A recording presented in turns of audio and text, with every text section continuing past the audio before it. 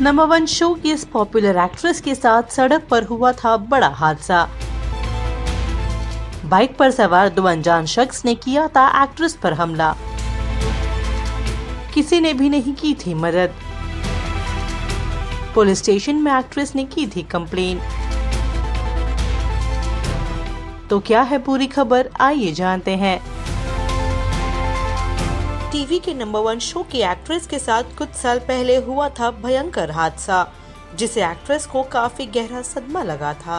हम बात कर रहे हैं एक्ट्रेस रूपाली गांगुली की। कोई मोई वेबसाइट की खबर की माने तो रूपाली ने कहा, मेरे बेटे ने मुझसे मोबाइल लेने की कोशिश की और उसको संभालते हुए मेरा पैर ब्रेक पर लगा और मेरी कार आगे हो गई, पर सिर्फ़ एक इंच और मेरी कार एक बाइक से टच हो गई।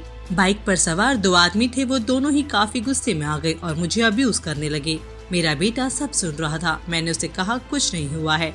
Y are you overreacting मैंने दोनों से माफ़ी मांगी, पर वो लोग कुछ भी सुनने को रेडी नहीं थे। फिर उसने मेरी विंडो पर ज़ोर से हाथ मारा और ग्लास तोड़ दिया, जिसकी वजह से मेरे हाथों में मार लगी और ब्लीडिंग होने लगी।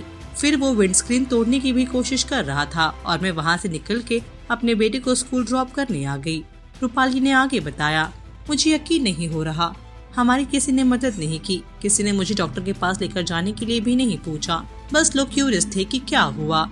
सीसीटीवी फुटेज की मदद से दोनों शख्स को आइडेंटिफाई किया गया। दोनों अपनी माँ के साथ पुलिस स्टेशन में थे, जिसके बाद उनकी माँ ने रूपाली से रिक्वेस्ट की, उन्हें माफ़ कर दें। और रूपाली ने आगे कहा कि, अगर इनका बेटा ऐसा करता तो वो खुद उन्हें पुलिस स्टेशन लेकर आती। तो क्या कहना है आपका इस खबर पर? बताइए हमें कमेंट सेक्शन में और देखते रहिए टेली मसाला